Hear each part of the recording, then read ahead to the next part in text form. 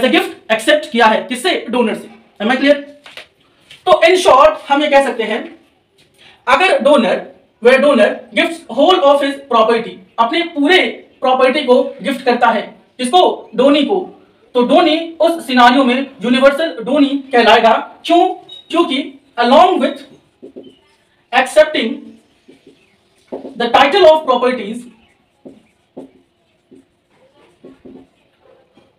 he have to accept the debts या liabilities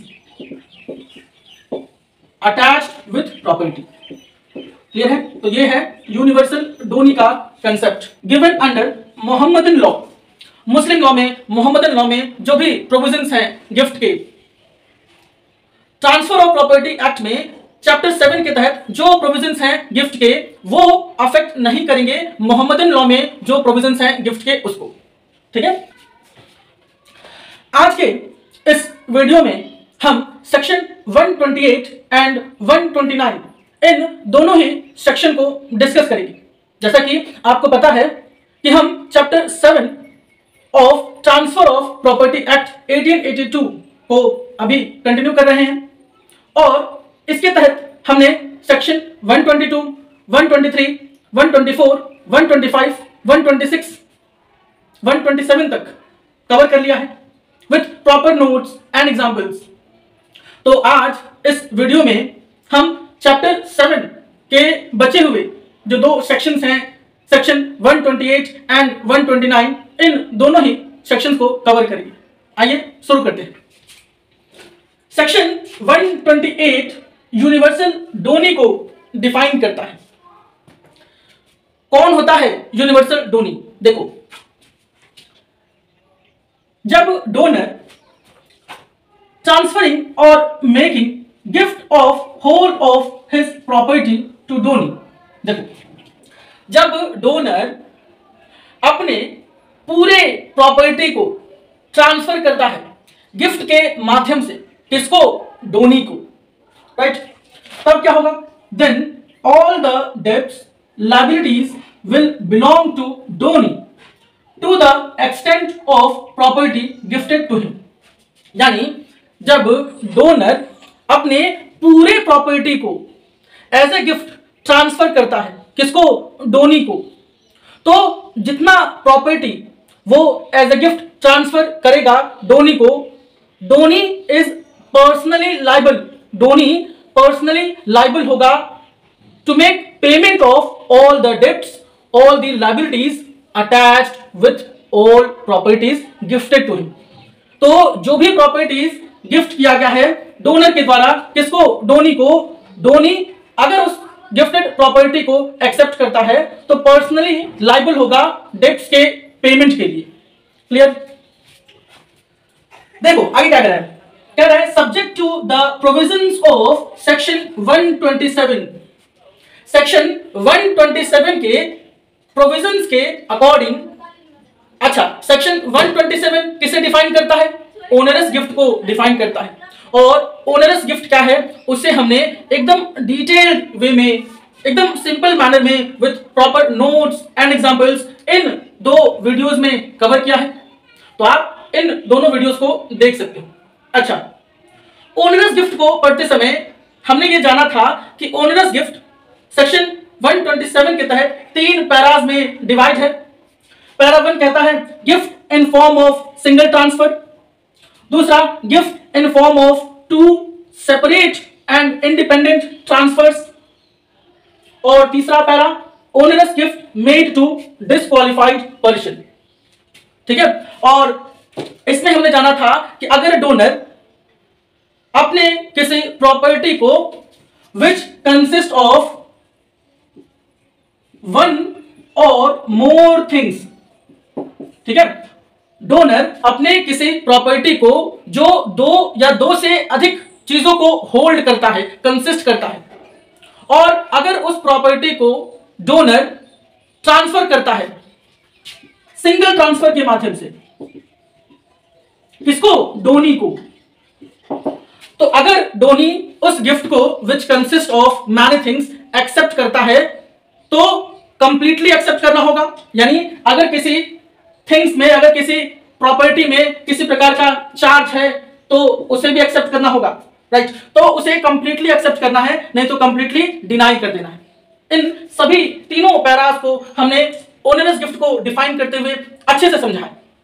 right और दूसरा क्या था? Gift in form of two or more separate and independent transfers right और तीसरा onerous gift made to disqualified person अगर onerous gift है और किसी डिसक्वालिफाइड पर्सन को ट्रांसफ़र किया जा रहा है, हम जानते हैं, जो कॉम्पिटेंसी टू कॉन्ट्रैक्ट होता है, वो एप्लीकेबल होता है केवल डोनर के ऊपर नॉट ऑन डोनी तो अगर ओनरस गिफ्ट है डिसक्वालिफाइड पर्सन को ट्रांसफ़र किया जा रहा है ही इज़ नॉट लाइबल वो लाइबल नहीं है to make the payments of charges to make the payment of encumbrances ठीक है? क्योंकि ओनरस गिफ्ट का मतलब ही है a gift which contains charges तो ये कह रहा है subject to the provision of section 127 यानी सेक्शन 127 के प्रोविजंस को कॉन्सिडर करते हुए in case donor is making gift of whole of his property donor अपने पूरे प्रॉपर्टी को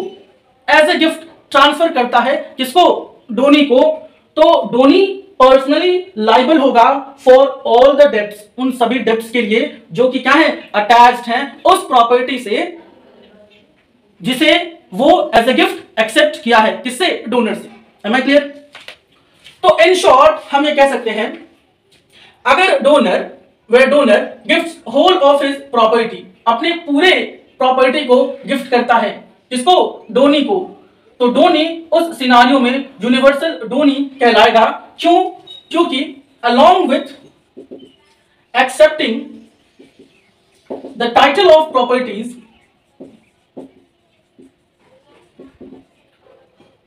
he have to accept the debts या liabilities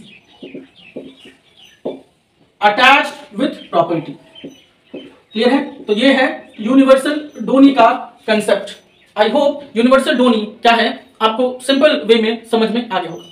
Right right. अब देखो सेक्शन 129 कहता है saving of donation mortis causa and Mohammedan law section 129 ये कहता है कि the provisions of this chapter यानी chapter seven of transfer of property act the provision of this chapter does not affect इस चैप्टर के, यानी चैप्टर सेवन जो gift को डिफाइन करता है और उसके प्रोविज़न को होल्ड करता है, इस चैप्टर के जो प्रोविज़न हैं, वो अफेक्ट नहीं करेंगे। किसको gift of movable property made in contemplation of death अगर डोनर अपने डेथ को जान रहा है after finding the possibility of his death donor अगर किसी इमूवेबल प्रॉपर्टी को ट्रांसफ़र कर रहा है तो इस चैप्टर के जो प्रोविजंस हैं, वो उस ट्रांसफ़र पे एप्लीकेबल नहीं होंगे या उस ट्रांसफ़र को अफेक्ट नहीं करेंगे, ठीक है? तो क्या कह रहा है? कह रहा है the provisions of this chapter does not affect gift of movable property made in contemplation of death ठीक है? दूसरा क्या है? दूसरा कह रहा है the provision of gift given under Mohammedan law Muslim law में मोहम्मदन लॉ में जो भी प्रोविज़न हैं गिफ्ट के ट्रांसफ़र ऑफ़ प्रॉपर्टी एक्ट में चैप्टर सेवन के तहत जो प्रोविज़न हैं गिफ्ट के, वो अफेक्ट नहीं करेंगे मोहम्मदन लॉ में जो प्रोविज़न हैं गिफ्ट के, उसको। ठीक है? The provision of gift given under Mohammedan law is also not affected वो अफेक्ट नहीं होगा ट्रांसफ़र ऑफ़ प्रॉपर्टी एक्ट के चैप्टर सेवन में जो भी गिफ्ट और उसके प्रोविज़न दिए गए उनसे। आई क्लियर क्योंकि हम जानते हैं कि जो object and scope of transfer of property act है, वो क्या है? लिमिटेड है, और इसे हमने अपने सेकेंड क्लास में डिस्कस किया था। Right right? तो क्योंकि object and scope of transfer of property act is limited इसलिए अगर कोई स्पेशल लॉज हैं, जिनमें किसी प्रॉपर्टी को कैसे ट्रांसफ़र करना है वो सभी चीज़ें मेंशन है। तो ट्रांसफ़र ऑफ़ प्रॉपर्टी एक्ट 1882 के जो प्रोविजंस हैं, वो उस पर प्रिवेल नहीं करेंगे। ठीक है? इन शॉर्ट हम ये कह सकते हैं कि सेक्शन 129 ये कहता है कि इस चैप्टर के जो प्रोविजंस हैं, वो उन सभी ट्रांसफ़र को अफेक्ट नहीं करेंगे which is based on what mortis causa यानी इन कंटेम्पलेशन ऑफ़ डेथ और दूसरा मोहम्मदन लॉ क्लियर तो ये था सेक्शन 128 और सेक्शन 129 आई होप इस छोटे से लेक्चर में सेक्शन 128 और 129 आपको आसानी से समझ में आ गया तो अगर वीडियो आपको अच्छी लगती है तो प्लीज़ चैनल को सब्सक्राइब करके अपना सपोर्ट ज़रूर दें। Thank you have a nice day